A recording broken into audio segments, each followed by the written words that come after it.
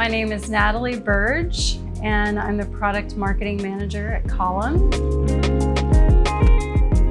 One of the things that I really love about my daily work at Column is that I get to work with the most incredible minds. There's such diversity of perspective, and it really helps expand my mind and it helps me become a better contributor to the team that I work on. And it just makes me more of a well-rounded individual.